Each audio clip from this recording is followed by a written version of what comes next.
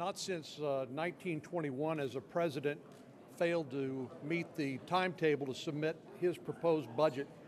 uh, to the United States Congress, except for the current occupant in the White House who has missed that deadline four times out of five. If there's a better way to render yourself irrelevant to the most to the debate on the most important issue facing our country today, that may well be uh, that may well take the cake.